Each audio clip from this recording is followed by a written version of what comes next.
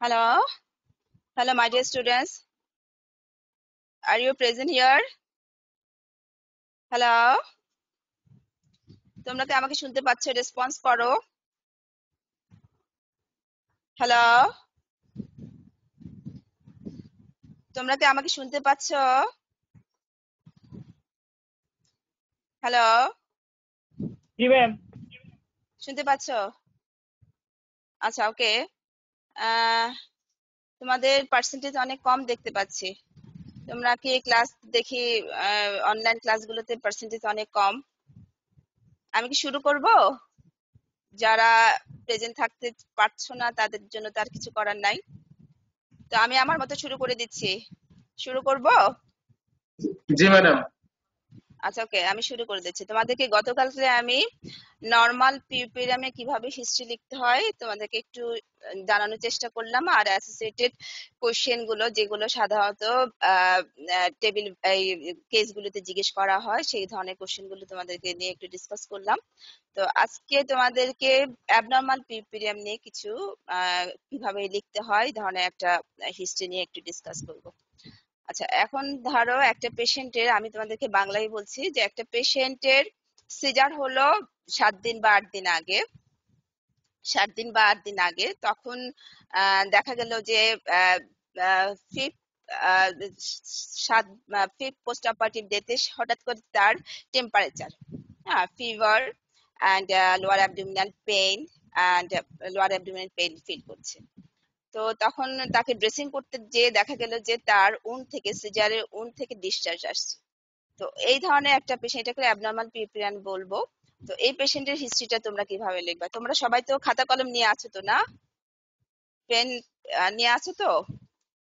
Hello জি ma'am হ্যাঁ জি ma'am আচ্ছা ঠিক আছে। হ্যাঁ তা হিস্ট্রিটা আমরা তাহলে কীভাবে লিখব? প্রথমে এই ক্ষেত্রে আমরা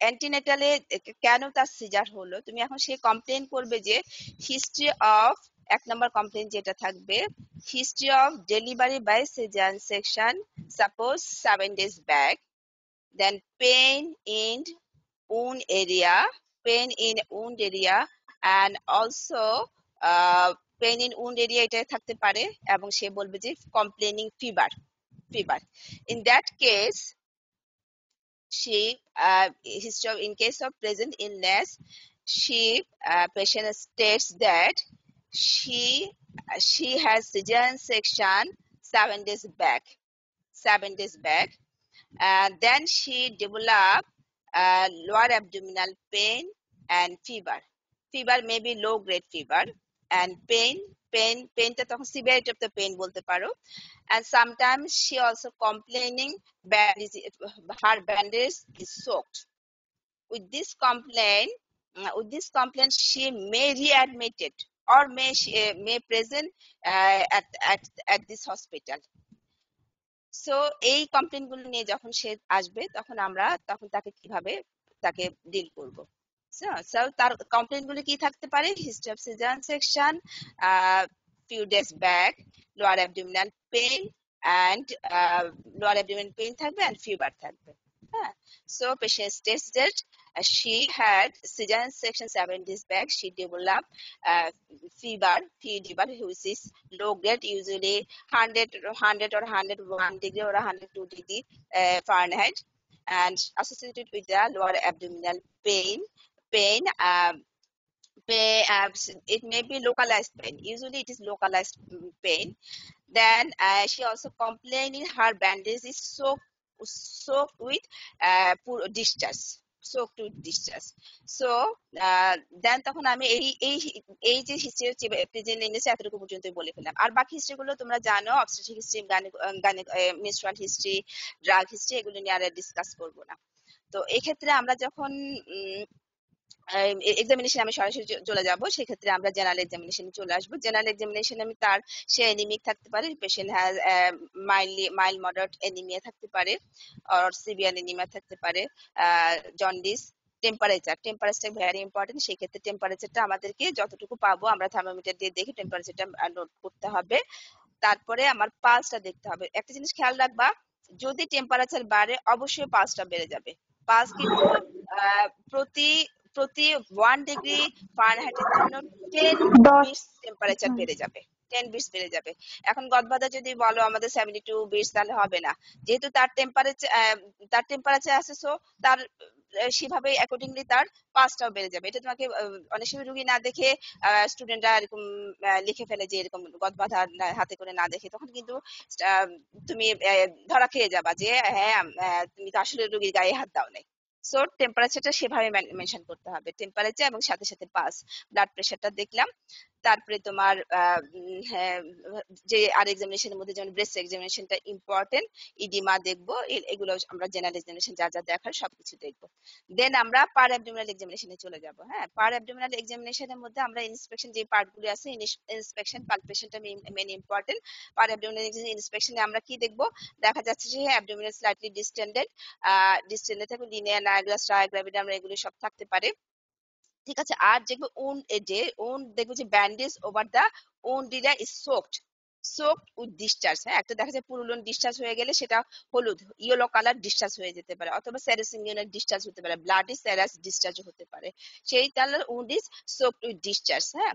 দেন তুমি আমি কি করলাম কি? যখন আমি এখন ডিসচার্জ পেয়ে গেলাম হ্যাঁ? দেন আমি এবার তুমি প্যালপেশনে চলে যাবা হ্যাঁ? এগুলো সব ইন্সপেকশনে দেখলাম দেন প্যালপেশন প্যালপেশনের টেন্ডারনেস প্রেজেন্ট হ্যাঁ? Abdomen is tender tender tenderness present থাকবে। আর দেখা যাবে যে তখন কি করব কি আমি এই ইনভুলেশন পাওয়া যাবে। ইউট্রাসের হাইটটা সিম্পাসিও ফান্ডাল হাইটটা সাধারণত এই ধরনের ইনফেকশন গুলোতে সাব ইনভুলেশন থাকতে পারে হ্যাঁ? সিম্পাসিও ফান্ডাল হাইটটা কতটুকু আছে সেটা মেজার করে নিব। দেন উন যেটা পাচ্ছি এবার আমরা ব্যান্ডেজটা রিমুভ করব হ্যাঁ? Removal on removal of the bandage তখন আমি কি পাচ্ছি? On removal of the bandage আমরা কি পাবো? দেখা যাচ্ছে কি উন্ড ইজ আনহেলদি তুমি লিখে দিবা যে wound is unhealthy and discharge purulent discharge অথবা সেরাস ডিসচার্জ অথবা স্যারাসুইঙ্গনের discharge coming out from the wound area তাহলে উন্ড এরিয়া থেকে আমার এই ডিসচার্জগুলো আসছে সেটা আমরা মেনশন করলাম যে যে এই ডিসচার্জগুলো আসছে। আর দেখা যাচ্ছে ম্যাডাম ঠিক আছে এখন এখনও ওকে আছে। হ্যাঁ শুরু করব? Yes madam.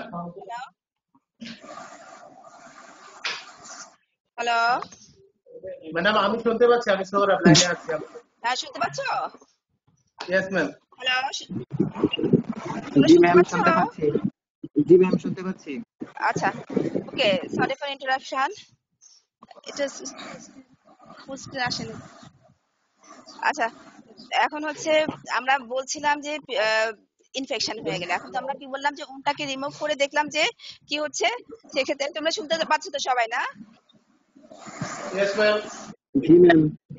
আচ্ছা তাহলে জি আচ্ছা, ম্যাম তাহলে আমরা এখন দেখা যায় উন থেকে কি হচ্ছে ডিসচার্জ আসছে। ডিসচার্জ একটা পুরুলন ডিসচার্জ আছে। আর পারভেজানাল এক্সামিনেশন করলে যদি এটা পেপার সেপসিস থাকে এটা মিনিং ডিসচার্জ পাওয়া যাবে। সো এভাবে আমরা হিস্ট্রিটাকে আমরা সাজাতে পারি হ্যাঁ?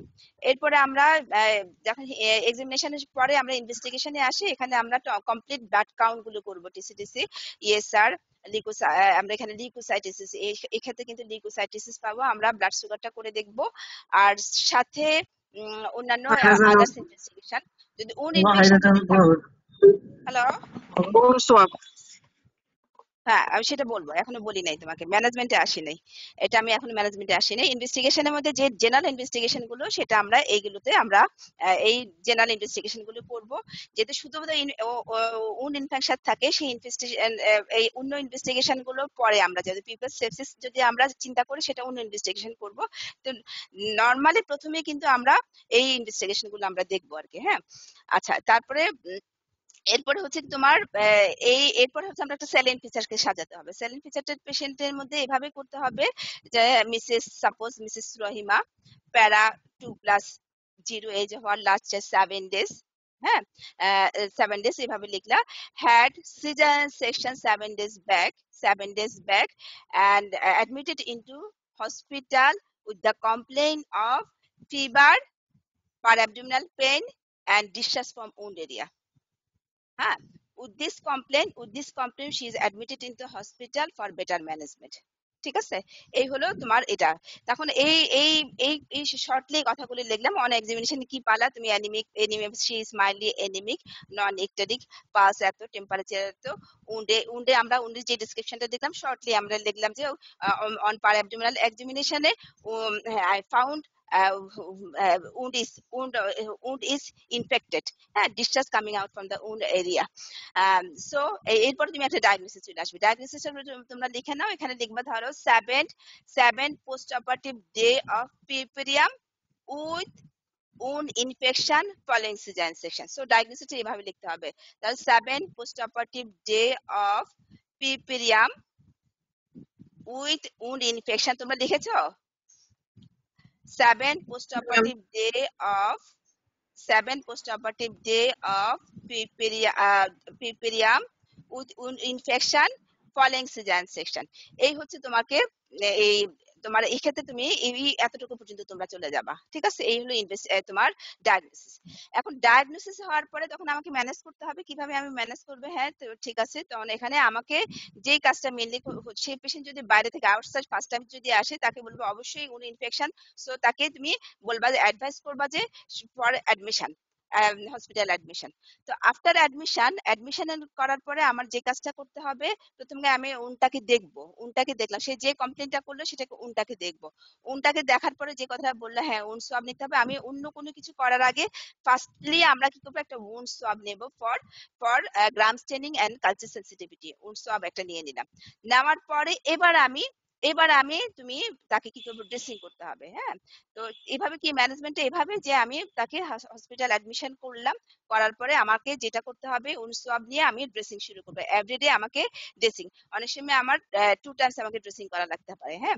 এর মধ্যে আমরা একটা এম্পিরিক্যাল অ্যান্টিবায়োটিক শুরু করে দেবো হ্যাঁ? যেটা হবে কি broad spectrum antibiotic covers the gram positive gram negative and also aerobic and anaerobic organism সে একটা প্রসপেক্টিভ সাধারণত আমরা আগে দিতাম যে অ্যাম্পিসিলিন আর অ্যামোক্সিসিলিন সাথে ম্যাট্রোনিডাজল জেন্টামাইসিন দিতাম। তো এখন আমরা এগুলো একটু কম ইউজ করা হয়। এগুলো রেজিস্ট্যান্স হয়ে গেছে ম্যাক্সিমাম ক্ষেত্রে। তো আমরা এখন সাধারণত সেপটিয়াকজন অথবা সেপুরেক্সিম সাথে ম্যাট্রোনিডাজল আমরা দিয়ে দিচ্ছি হ্যাঁ?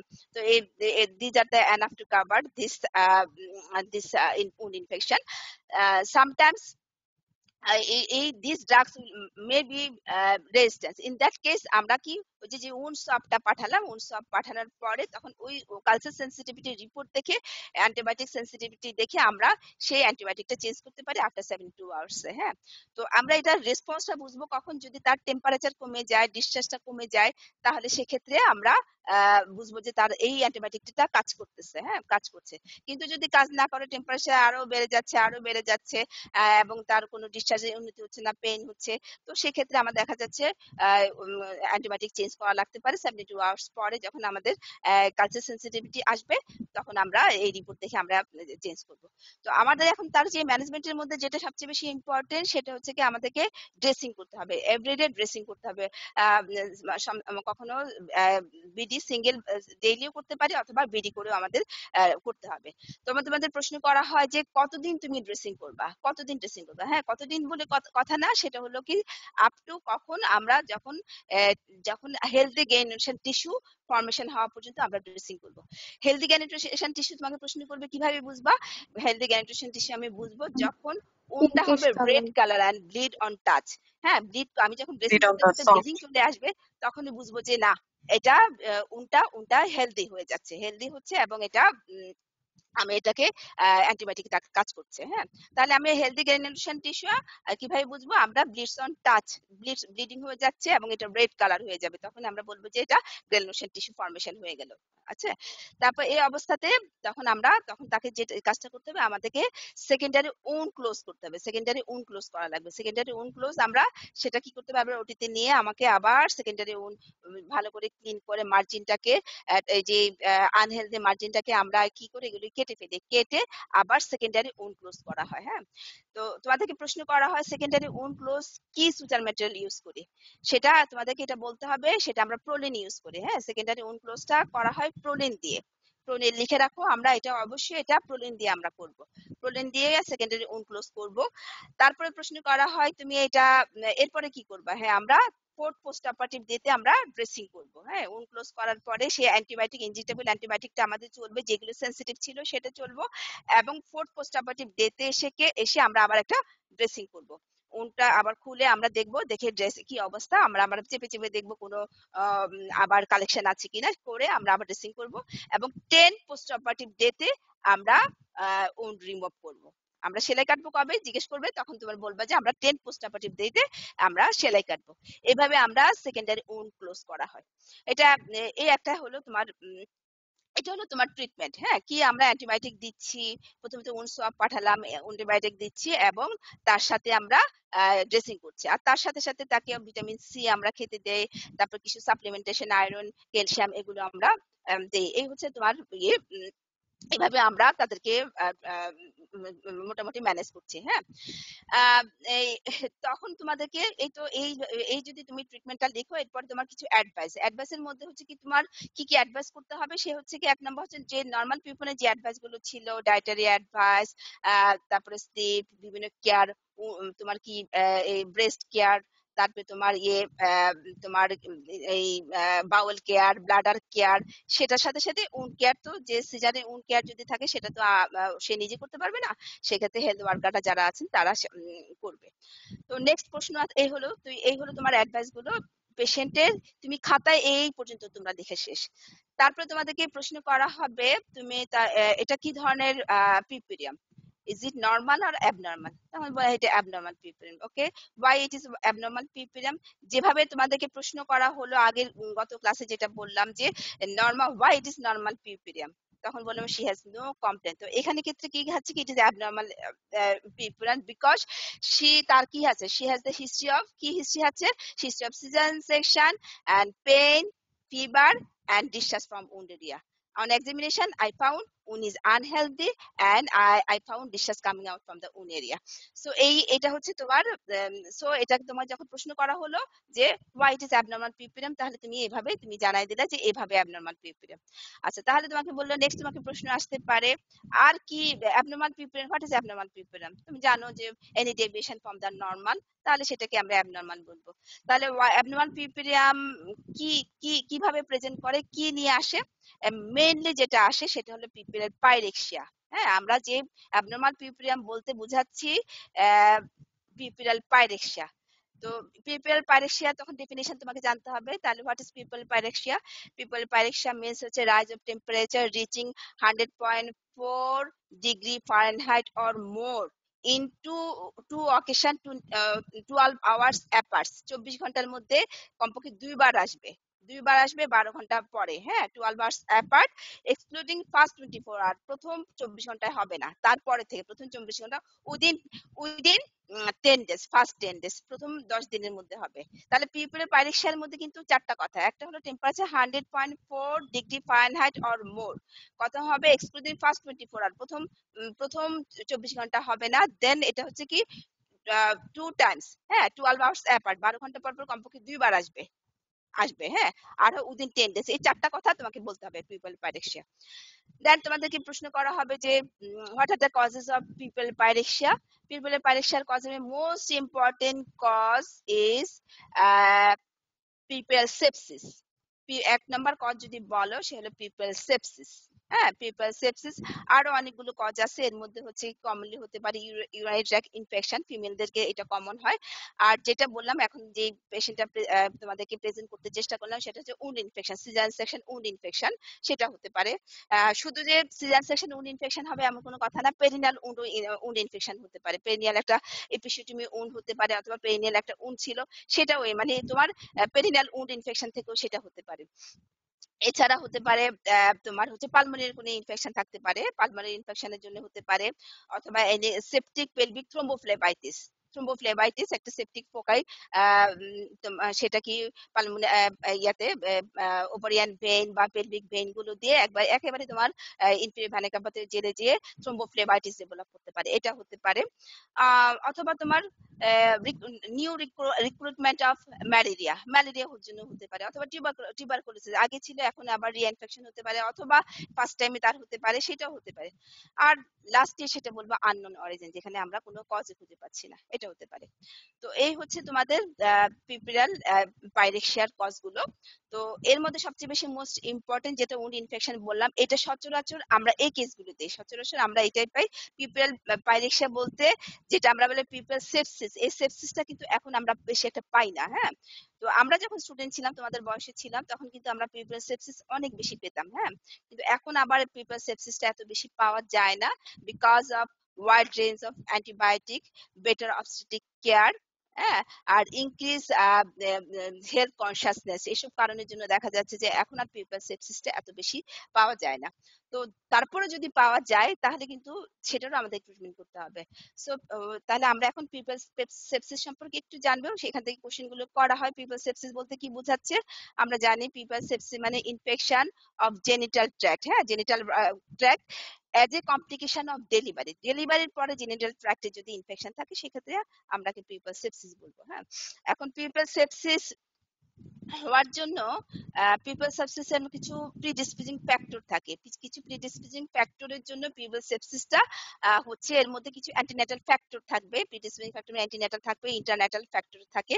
অ্যান্টিনেটাল ফ্যাক্টরের মধ্যে বিশেষ করে কাদের বেশি হচ্ছে? যাদের হচ্ছে এনিমিয়া ম্যালনিউট্রিশন যাদের থাকে। ক্রনিক ডিজিজ ধরো একটা ছিল, কারও ডায়াবেটিস ছিল হ্যাঁ? ডায়াবেটিস একটা থাকতে পারে অথবা কোনো, কারও জন্ডিস ছিল, অথবা তোমার rupture membrane history of rupture membrane এই ধরনের যদি হিস্ট্রি থাকে, তাহলে তাহলে সেগুলো সেগুলো হতে সেগুলো হতে পারে। আবার কিছু ইন্টারনেটাল ফ্যাক্টর ইন্টারনেটাল ফ্যাক্টরের মোস্ট ইম্পর্টেন্ট হচ্ছে কি রিপিটেড পারভেজানাল এক্সামিনেশন আমাদের যে একটা অভ্যাস বারবার একটু পর পর পিভি করলাম ঘন্টায় ঘন্টায়। যেমন ম্যাডাম তোমাদেরকে পড়াচ্ছিল না যে চার ঘণ্টা আগে পিভি করা উচিত না। কিন্তু আমাদের যারা গ্রামেগঞ্জের মহিলাগুলো, যারা হোম হোম ডেলিভারি করাচ্ছে, এরা একটু পর পর আনক্লিন হ্যান্ড দিয়ে অথবা একটা গ্লাভস নিয়ে এখানে এই কাজ করছে, এই কাজ করছে, ওই গ্লাভস নিয়ে আবার পিভি করছে। তো এখানে প্রতিটা ক্ষেত্রে কি অর্গানিজম ইন্ট্রোডিউস করছে। তো এই জন্য তখন এই, এইটা এই এইটা হলে কিন্তু তার কিন্তু সমস্যাগুলো এই ইন্টারনেটাল এই ফ্যাক্টরটা কিন্তু ভেরি ইম্পর্টেন্ট ইন্টারনেটাল ফ্যাক্টরে যে repeated per vaginal examination also prolonged rupture membrane prolonged rupture membrane more than twelve hours prolonged rupture membrane থাকলেও সেটা হচ্ছে তার সাথে হিস্ট্রি অফ সিজান সেকশন একটা important operative delivery instrumental delivery dehydration ketoacidosis হ্যাঁ even APS antepartum haemorrhage যদি থাকে, অথবা পিপিএস এগুলি থাকলে। এপিএস এর মধ্যে বিশেষ করে প্লাসেন্টা প্রিভিয়া যখন প্লাসেন্টাটা থাকে নিচে লোয়ার সেগমেন্টে একদম নিয়ার সার্ভিক্স সার্ভিক্স সে ইজিলি কিন্তু অর্গানিজমটা সেগুলো সেই অর্গানিজমটা সে ভিতরে ঢুকে যেতে পারে হ্যাঁ? এই জন্য কিন্তু তো এই ফ্যাক্টরগুলো আমাদেরকে যাদের থাকে সেক্ষেত্রে আমরা স্পেশাল কেয়ার নিতে হবে। তো এই হলো তোমাদের ফ্যাক্টরগুলো। তো সেটা কীভাবে সে প্রেজেন্ট করবে? প্রেজেন্ট করবে তুমি কীভাবে তুমি ডায়াগনোসিস করবা? তো ডায়াগনোসিস এর ক্ষেত্রে আমরা জানি হিস্ট্রি হিস্ট্রি আছে important history examination and investigation হ্যাঁ? হিস্ট্রির মধ্যে তোমাদের যে অ্যান্টিনেটাল যে ফ্যাক্টরগুলো আছে কিনা, যে সে এরকম হিস্ট্রি থাকতে পারে ডায়াবেটিস অথবা সে একটা anaemic patient debilitating patient low economic কন্ডিশনে সে ছিল ম্যালনিউট্রিশন এনিমিয়া এই ধরনের পেশেন্টগুলো সে থাকতে পারে হিস্ট্রি অথবা হিস্ট্রি অফ প্রলং লেবার অথবা এপিএস এর একটা হিস্ট্রি সে দিল। আর সে ক্লিনিক্যাল ফিচার হিসাবে সে প্রেজেন্ট করবে কীভাবে? সে যে কথাটা বললাম যে মেইনলি পাইরেক্সিয়া যেটা more than hundred point four degree হ্যাঁ? তোমার ফিভার থাকবে এবং সে বলবে lower abdominal pain lower abdominal pain and per vaginal ডিসচার্জটা থাকবে। পারভেজানাল ডিসচার্জ যেহেতু পিপল পারেশা ক্ষেত্রে বলবে যে ফলস স্পেলিং ডিসচার্জ থাকবে। ফলস স্পেলিং ডিসচার্জ থাকবে। বিশেষ করে এই পেশেন্টগুলো হোম ডেলিভারি থাকে ফলস স্পেলিং ডিসচার্জ নিশ্চয়ই থাকতে পারবে তখন এক্সামিনেশনে আমি কি পাবো? অন এক্সামিনেশনে তুমি আমি মেইনলি যেটা আমি যেটা দেখব সে মেনে অ্যানিমিক থাকতে পারে জন্ডিস থাকতে পারে তোমার টেম্পারেচার হাই টেম্পারেচার থাকবে hundred three four degree temperature হয়ে যেতে পারে। তারপরে পাস র্যাপিড পাস পাবো ব্লাড প্রেশার দেখব, এগুলি দেখ- দেখলাম এন্ড অ্যাবডোমিনাল এক্সামিনেশন টেন্ডারনেস পাবো হ্যাঁ? এবং সাব ইনভুলেশন সাব ইনভুলেশন ইউট্রাসের হাইটটা more than particular day day of involution মানে সাব ইনভুলেশন থাকবে টেন্ডারনেস অবশ্যই থাকবে। আর পারভেজানের এক্সামিনেশন যদি করি, দেখা যাচ্ছে যে সেক্ষেত্রে ফাউস মিনি ভেজানের ডিসচার্জ পাবো। এই এক্সামিনেশন এই ইনজেকশন ফাইন্ডিং দিয়ে আমরা অনেক কিছু বুঝে ফেলব। এখন সাথে সাথে কি ইনভেস্টিগেশন করব? ইনভেস্টিগেশনের মধ্যে হ্যাঁ তোমার এখানে ক্ষেত্রে আমরা total count total count differential কাউন্টগুলো করে দেখতে হবে। ইএসআর টা হাই ইএসআর পাবো। সি রিয়েক্টিভ প্রোটিন আমরা করে দেখতে হবে। এখানে সি রিয়েক্টিভ প্রোটিন পাবো। এক্ষেত্রে কমপ্লিকেশন হিসাবে রেনাল কমপ্লিকেশন এবং হ্যাপাটিক কমপ্লিকেশন হতে পারে। সো এখানে আমাদেরকে renal function test creatinine blood urea nitrogen এগুলি করতে হবে ইউরিয়া ক্রিয়েটিনিন তারপরে হচ্ছে তোমাকে হেপাটিক যে এএসটি এলটি এগুলি করে নিতে হবে। ইলেকট্রোলাসটি important very important electrolytes serum electrolytes সেটাও করে দেখতে হবে। আর আরেকটা ইম্পর্টেন্ট টেস্ট হচ্ছে high vaginal swab high vaginal swab যেখানে people সেপসিসে high vaginal swab and endocervical swab for culture sensitivity gram staining and culture sensitivity আমরা করে নিতে হবে। High high vaginal swab and endocervical swab এই এটা তোমাদেরকে অবশ্যই করে নিতে হবে। আচ্ছা এটা করার পরে যখন আমরা ইনভেস্টিগেশনগুলো আমরা মোটামুটি যখন পাঠিয়ে দিলাম, করতে পারলাম, তখন আমি এরপরে আমাকে কি, তাকে কীভাবে ট্রিটমেন্ট দেবো? তো ট্রিটমেন্টের আগে তোমাকে এটাকে গ্রেডিং করে নিতে হবে হ্যাঁ? এটা তোমার হতে পারে লোকালাইজড ইনফেকশন হতে পারে অথবা তোমার এটা ইউট্রাইন ইনফেকশন হতে পারে অথবা স্প্রেডিং ইনফেকশন হতে পারে। সাপোজ লোকালাইজ যদি ইনফেকশন থাকে লোকালাইজ ইনফেকশন মানে হচ্ছে ধরো পেরিনিয়াল একটা উন ছিল হ্যাঁ? পেরিনিয়াল উন থেকে সেই ইনফেকশনটা আবার যেটা পেরিনিয়াল উন ছিল সেটাতে বেদানাতে চলে যেতে পারে সার্ভিক্সে চলে যেতে পারে এই হতে পারে। এরপরে যেটা ইউটারাসে চলে যায়, তখন এটাকে অ্যান্ডোম্যাট্রাইটিস বলব আমরা। অ্যান্ডোম্যাট্রাইটিস হয়ে যাবে। আবার যখন এটা স্প্রেড করে যায় স্প্রেড করে যে parametritis peritonitis pelvic peritonitis generalized peritonitis হয়ে যেতে পারে ইভেন সেপ্টিসিমিয়া পর্যন্ত ডেভেলপ করতে পারে। সো তোমার এটা যখন আমরা এই- অবস্থা, এখন যখন আমরা তোমার এই অবস্থাতে পাই লোকাল ইনফেকশন যদি হয়, শুধু লোকালাইজ যদি থাকে লোকালাইজ ইনফেকশন অথবা অনলি অ্যান্ডোম্যাট্রাইটিস যদি হয়ে থাকে, সেক্ষেত্রে আমরা পেশেন্ট গুলোকে আমরা সে অ্যাডমিশন যে এক নম্বর কথা হলো অ্যাডমিশন সে তাকে থাকতে হবে এবং আইসোলেশন আমাদের ইনফেক্টিভ ওয়ার্ড গুলোকে আমরা আইসোলেট করে রাখি। সে ইনফেক্টিভ আমরা আরেকজনকে স্প্রেড করতে পারে অথবা আরেকজন থেকে আরেকজন তার আসতে পারে। সে সুতরাং আইসোলেশনটা ইম্পর্টেন্ট দেন হচ্ছে তাকে হাইড্রেশন শুড মেনটেন তার হাইড্রেশনটাকে খুব মেনটেন করতে হবে, কারণ তাদের কিন্তু ইলেকট্রোলাইট ইমব্যালেন্স হয়ে যায়। হাইড্রেশন শুড মেনটেন তাকে প্রপার ফ্লুইড ফ্লুইড তাকে দিতে হবে। এরপরে আমরা এম্পিরিক্যাল অ্যান্টিবায়োটিক তোমাদেরকে যেগুলো বললাম অ্যাম্পিসিলিন অ্যামোক্সিসিলিন সাথে ম্যাট্রোনিডিজল জেন্টামাইসিন দিতাম। এখন আমরা দিই সেফটিয়াকজিন আর সেফ্রেক্সিন সাথে ম্যাট্রোনিডিজল আমরা দেই। আর অ্যাকর্ডিংলি যদি রেসপন্স না করে সেভেন্টি টু আওয়ার্স পরে আমরা সেন্সিটিভিটি রিপোর্ট অনুযায়ী আমরা সেই আবার অ্যান্টিবায়োটিকটাকে আমরা চেঞ্জ করে দিতে পারি। এই হচ্ছে তোমার, এখন আমি, এটা হলো কি জেনারেলাইজ একটা ট্রিটমেন্ট কিন্তু এখন তোমার অ্যাকর্ডিং টু কজ কোন জায়গায় তোমার সমস্যাটা আছে?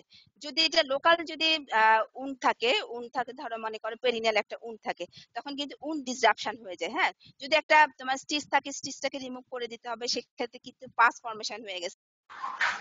ম্যাম শুনতে পাচ্ছি না।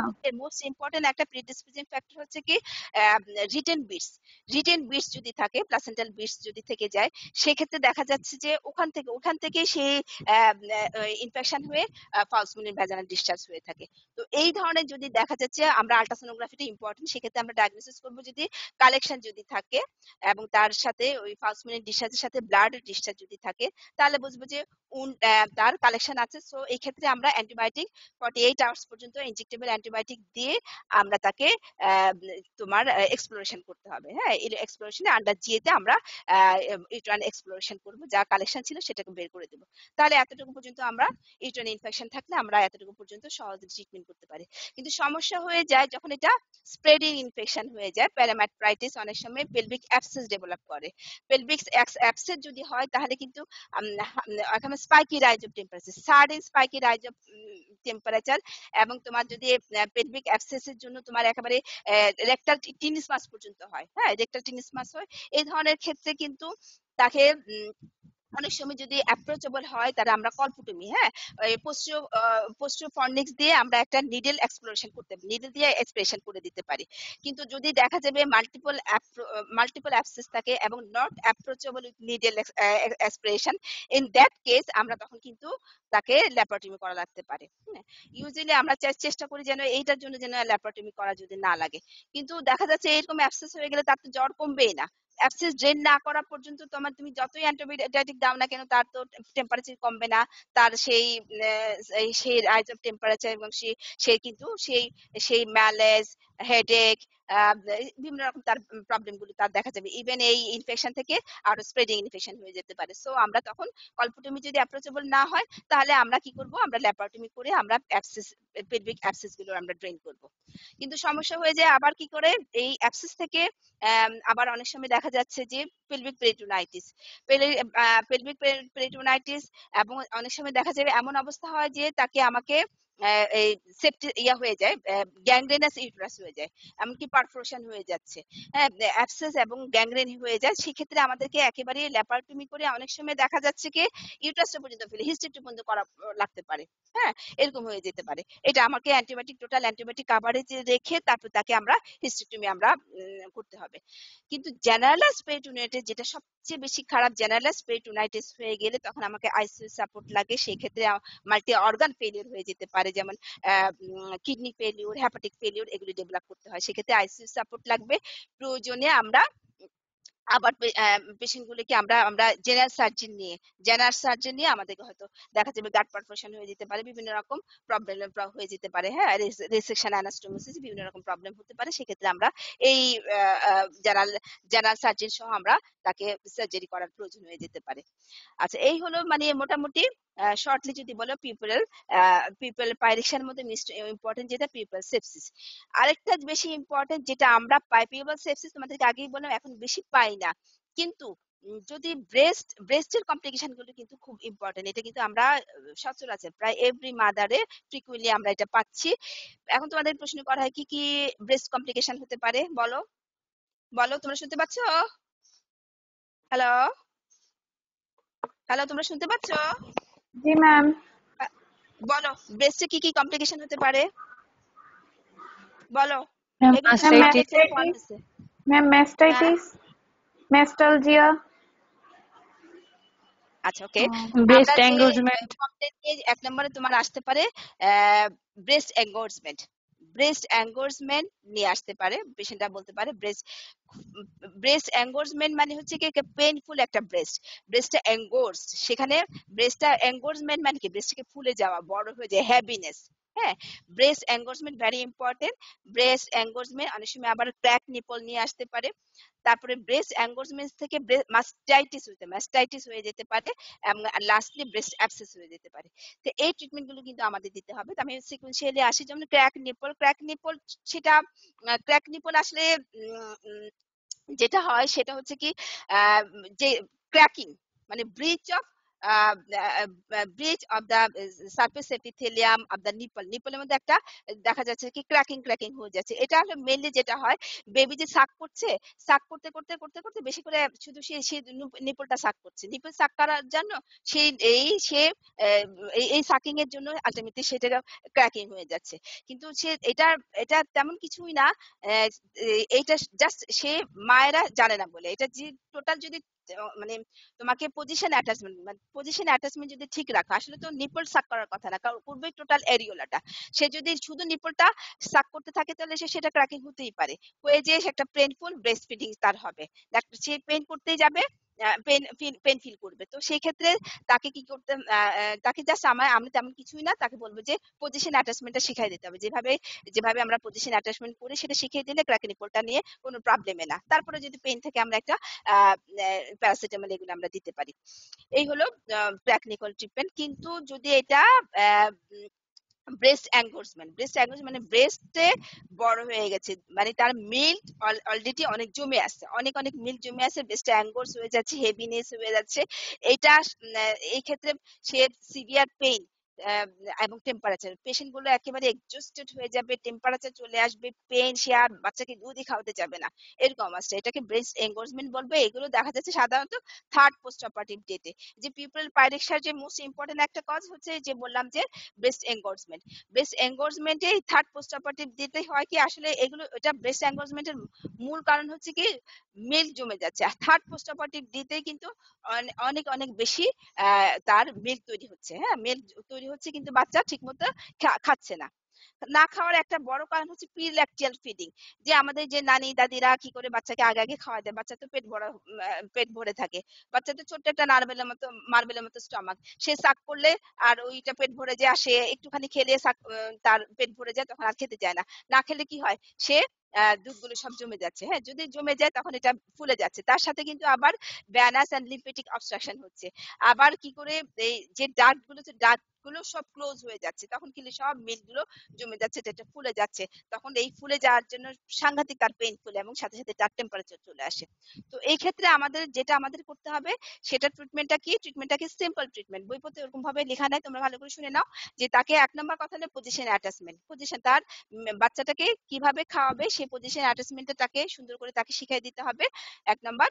দুই নাম্বার হচ্ছে তাকে পজিশন অ্যাটাচমেন্ট যদি ঠিক থাকে তাকে এক্সক্লুসিভ তাকে ওই যে যেটা ফিডিং খাওয়ার আগে দিয়ে যদি মিষ্টির পানি, চিনির পানি খাওয়াই দেয়, অথবা তুমি বোতল ফিডিং খাওয়াই আর দুধ টানবে কি করে? তাকে এক্সক্লুসিভ তাকে এনশিওর করতে হবে। এটা ইম্পর্টেন্ট এই দুটো যদি করি, তারপরে যদি আরেকটা জিনিস যেটা করতে হবে, সে কিন্তু খুব বেশি পেইন থাকে তো, আর এরকম শক্ত হয়ে থাকলে বাচ্চা টানলে কিন্তু দুধ আসবে না। যেহেতু বললাম যে ডাকগুলো সব ব্লক হয়ে যায়, সেই জন্য আমরা কি করি, যেটা করি, একটা টাওয়াল নেই। টাওয়ালটাকে গরম পানির মধ্যে ভিজিয়ে নেই হ্যাঁ? তখন এই যে হট হট থেরাপি আমরা দিতে পারি। টাওয়ালটাকে, ভিজা টাওয়ালটাকে যখন তুমি ব্রেস্টের মধ্যে চেপে ধরে রাখবা, তখন এটা সফট হবে। তারপর সফট হয়ে গেলে তখন তাকে বলবে, তুমি বেশি করে খাওয়া বাচ্চাকে এক্সক্লুসিভ বেশি করে এক্সক্লুসিভ ব্রেস্ট ফিডিং করালাম। করানোর পরে সে, তারপরে যদি মিল্ক জমে থাকে, সেটাকে আমরা এক্সপ্রেস করে নিতে পারি। ব্রেস্ট পাম্প দিয়ে বা ম্যানুয়ালি এক্সপ্রেস করে দুটো ফেলে দিতে পারি হ্যাঁ? এরকম করলে তার সেই ট্রিটমেন্ট হয়ে যাচ্ছে। তারপরে যদি পেশেন্টের পেইন থাকে, তাহলে সেক্ষেত্রে আমরা সিম্পল প্যারাসিটামল দিলে তার পেন ফিল করে পেইন পেইন কমে যাবে এবং তার টেম্পারেচার কমে যাবে। এভাবে তো আমরা আমরা ব্রেস্ট অ্যাঙ্গোর্সমেন্টের ট্রিটমেন্ট দিতে পারি। কিন্তু তার পরবর্তী সময়ে যেটা হয় complication inflammation infection and inflammation of breast টিস্যুটা যদি ইনফেকশন হয়ে যায়, এটা একটা যে ক্র্যাক নিপল দিয়ে, ওই ক্র্যাক দিয়ে অর্গানিজম মুখে অর্গানিজম থাকতে পারে বা যে কোনো ভাবে অর্গানিজমটা সে ওই ক্র্যাক নিপল দিয়ে সে ভিতরে ঢুকে যাচ্ছে। ঢুকে যেয়ে তখন এই, ঢুকে যেয়ে তখন এই ব্রেস্ট টিস্যুকে ইনফেকশন করে দিচ্ছে। তো এই ক্ষেত্রে মাস্টাইটিস যদি হয়ে থাকে, তাহলে তার পেইন একই কথা pain fever malaise weakness headache এগুলি থাকতে পারে। মাস্টাইটিস হয়ে গেলে তাকে আমার অবশ্যই, তাকে অবশ্যই তাকে অ্যান্টিবায়োটিক দিতে হবে এবং প্যারাসিটামল অথবা আইবিপ্রোফেন আমরা দেই দেব। আর তোমাকে হচ্ছে, আর ব্রেস্ট এক্সপ্রেস করে হেলদি যদি হেলদি ব্রেস্টে সে খাবে, আর যদি যেটা মাস্টাইটিস হয়ে আছে, সেটাতে কিছুদিন খাবে না। অ্যান্টিবায়োটিক কাভারেজে যখন ভালো হবে, তখন সে খাবে। তার আগ পর্যন্ত তাকে আমরা অ্যান্টিবায়োটিক দিয়ে রাখব। অ্যান্টিবায়োটিক সাধারণত এগুলো ফ্লুক্লক্সাসিলিন এগুলি ভালো কাজ করে এবার পার্সপেক্টিভ অ্যান্টিবায়োটিক আমরা এগুলো দিতে পারি। এগুলো আমরা দিয়ে ট্রিটমেন্ট দিতে পারি। কিন্তু ম্যাস্টাইটিস থেকে এরপরে যেটা সবচেয়ে ব্যাড কমপ্লিকেশন হলো অ্যাবসেস হয়ে যেতে পারে। অ্যাবসেস হয়ে গেলে একটা দেখা যাবে লোকালাইজ একটা ফ্লাকচুয়েন্ট একটা মাস তৈরি হয়ে যাবে হ্যাঁ? একটা ব্রেস্ট অ্যাবসেস হয়ে যাওয়ার কারণে pain fever temperature malaise weakness headache এগুলি সব চলে আসবে। তো ইন দ্যাট কেস তখন আমরা কি করব কি? ড্রেনেজ করতে হবে। হ্যাঁ? ড্রেনেজ করতে হবে। সেই ক্ষেত্রে ড্রেনেজ করে একটা আমরা অ্যান্টিবায়োটিক কাভারেজে রেখে ব্রেস্টের উপরে একটা রেডিয়াল ইনসেশন দেবো। ইনসেশন দেবা দিতে হবে। তোমাকে এটাকে যে এমন ভাবে একটা রেডিয়াল ইনসেশন দিতে হবে যেটা ডাক করে না করে। নিয়ার এরিওলা এসে একটা একটা লম্বা ইনসেশন দেবো যেটা দিয়ে আমরা অ্যাক্সেসটাকে ড্রেন করব। ভালো করে ড্রেন করব এবং ফিঙ্গার দিয়ে লোকালগুলো আমরা ভেঙে দেবো। দিয়ে তারপরে আমরা এটাকে ড্রেসিং করার জন্য আমরা ড্রেসিং করব। আর এক্ষেত্রে আমরা অ্যান্টিবায়োটিক কন্টিনিউ করতে থাকব। অনেক সময় ইনজেক্টেবল অ্যান্টিবায়োটিক লাগতে পারে। তো এই ক্ষেত্রে কিন্তু হেলদি ব্রেস্ট থেকে সে সে খাবে বাচ্চাকে ফিডিং করাবে। কিন্তু আনহেলদি ব্রেস্টটাকে আমরা তখন আমরা খাওয়াবো না। কিন্তু যখন সে অ্যান্টিবায়োটিক কাভারেজে যখন দেখবে যে ভালো হয়ে গেছে, তার টেম্পারেচার কমে গেছে ব্রেস্টের পেইন কমে গেছে অ্যাবসেসের কোনো সাইন সিমটম নাই। ইন দ্যাট কেসে কিন্তু আমাদের আর তখন আর আমরা আবার হেলদি হেলদি ব্রেস্ট থেকে আবার আনহেলদি ব্রেস্ট থেকেও আমরা শুরু করে দিতে পারব, খাওয়াতে শুরু করে দেবো আর কি। এই হলো তোমার ব্রেস্টের কমপ্লিকেশন এটা হলো ব্রেস্ট কমপ্লিকেশন নিয়েও আমাদের কাছে আসতে পারে। আর পিপল পাইরেকশনের মধ্যে আবার তোমার ইউটিআই নিয়েও আসতে পারে। ইউটিআই নিয়ে আসতে থাকলে তো আমরা ওই ইউরিনারি ইউরিনের কালচার সেন্সিটিভিটি করে আমরা সেই অ্যান্টিবায়োটিক দেবে। এই পিউপিয়াল পিউপিয়াল পিরিয়ড ইউটিআইটাও কিন্তু অনেক কমন সেক্ষেত্রে আমাদেরকে অ্যান্টিবায়োটিকটা আমরা অ্যাকর্ডিং টু ক্যান্সার সেন্সিটিভিটি দেওয়াটাই ভালো। আবার এম্পেরিক্যাল দিলেও অনেক সময় রেসপন্স করে। সেটাও আমরা ইউটিআই এর জন্য ট্রিটমেন্ট দিতে পারি। তারপর যেমন হতে পারে পালমোনারি ইনফেকশন পালমোনারি ইনফেকশন সেক্ষেত্রেও আমরা অ্যান্টিবায়োটিক দিলে তাকে অনেক সময় রেসপিরেটরি ডিস্ট্রেস থাকতে পারে। আর তো সবচেয়ে খারাপ যেটা আমি মনে করি সেটা হচ্ছে কি সেপটিক পেলভিক থ্রোম্বোফ্লেবাইটিস যে একটা সেপটিক তোমার ইয়ে ছিল পিপল সেপসিস যেটা ছিল সেক্ষেত্রে পেলভিক ব্যাসেল ভেন গুলোকে অথবা তোমার হচ্ছে কি ওভারিয়ান ভেন কে ইনভলভ করল। এটা থেকে চলে গেলে একেবারে রিয়ারলি ইনফ্রে ভ্যানাকাপাতে চলে যেতে পারে। তখন কি করল? থ্রোম্বোফ্লেবাইটিস ডেভেলপ করে, পা গুলো ফুলে ফুলে যাবে। পা একেবারে ফুলে যাবে আর এই জন্য কিন্তু আমরা পেশেন্ট গুলোকে আর্লি অ্যাম্বুলেশনটার জন্য এনকারেজ করি। সবসময় বলি যে আর্লি অ্যাম্বুলেশনটা ভেরি ইম্পর্টেন্ট এগুলো আমরা করতে বলি। তো এই ক্ষেত্রে অনেক সময় আমাদের তাদেরকে হ্যাপারিন দেওয়া লাগতে পারে। আমরা হ্যাপারিন হ্যাপারিন দিয়ে এটাকে আমরা ট্রিটমেন্ট করতে পারি। এই এই হলো থ্রোম্বোফ্লেবাইটিস এই হলো তোমার অ্যাবনর্মাল পিপোরিয়ামের মধ্যে মোটামুটি পিপল প্যারেশার এগুলো। এছাড়া অ্যাবনর্মাল পিপোরিয়াম হতে পারে যেমন হচ্ছে তোমার ইয়ে তোমার সাইকোসিস সাইকোসিস অনেক সময় ডেভেলপ করে। পিপল সাইকোসিস তো এখানে সাইকোথেরাপিটি ইম্পর্টেন্ট এমন সময় এমন হয় যে ইনফ্যান্টিসাইড বাচ্চাকে কিন্তু মেরেও ফেলে, এরকম অনেক কাহিনী আছে। আমার নিজের কিছুদিন আগে আমি নিজের একটা পেশেন্ট বাচ্চাকে, সে গলা চেপে মেরে ফেলছে। এরকম কাহিনী কিন্তু পেপার পড়তে তো এরকমই হয়। তো পিপল সাইকোসিস তো খুবই ডেঞ্জারাস সে বুঝতেই পারে না যে সে কি করছে। তো এক্ষেত্রে সাইকেট্রিক কনসালটেশন ইম্পর্টেন্ট তবে আমরা এখানে, এক্ষেত্রে আমরা লার্গেকটিল দেই। লার্গেকটিল দেই অ্যান্টি ডিপ্রেসেন্ট ড্রাগসগুলো সেগুলো দেই। ফ্যামিলি এগুলো দেখা যাচ্ছে কি ফ্যামিলি ডিসহারমোনি একটা ইম্পর্টেন্ট ফ্যাক্টর আর কি, এগুলো হতে পারে। তো মোটামুটি অ্যাবনর্মাল পিপলের মধ্যে উন ইনফেকশনটাই সবচেয়ে বেশি ইম্পর্টেন্ট এটাই আমাদের, আমরা পরীক্ষা হলে দিয়ে থাকি। পিপল সেপসিস জানতে হবে আর ব্রেস্ট কমপ্লিকেশনগুলো আমরা জানতে হবে। তো এই হলো মোটামুটি শর্টলি আমরা অ্যাবনর্মাল পিপিয়ান সম্পর্কে জানালাম। তো তোমরা বুঝতে পেরেছ পড়া? বুঝতে পারছ? হ্যালো হ্যালো তোমরা কি আমার পড়াগুলি বুঝতে পেরেছ? Yes Hello? ম্যাম জি আচ্ছা, ম্যাম আচ্ছা কোনো কোশ্চেন থাকলে আমাকে বলো? যেটা তোমাদের একটু বুঝতে কম মনে হচ্ছে সে আমাকে কোশ্চেন করো। কোশ্চেন না করলে বুঝব না যে তোমাদের রেসপন্সটা কেমন। কোশ্চেন করো। তোমাদের কাছ থেকে শুনতে চাই। হ্যালো কোনো কোশ্চেন আছে? কোনো কোশ্চেন আছে? না ম্যাম কোনো কোশ্চেন নাই কি? সব বুঝে ফেলছো? হ্যাঁ? পড়াগুলি কি খুব সোজা মনে হচ্ছে না? ওকে যদি বুঝে কোনো কোশ্চেন না থাকে ধরে নিচ্ছি তোমরা সব বুঝতে পারছ। তাহলে আজকের ক্লাস এতটুকু পর্যন্ত। তো okay I am leaving today's classes so thank you and uh, uh, stay, stay, stay safe. Okay, Allah Hafiz.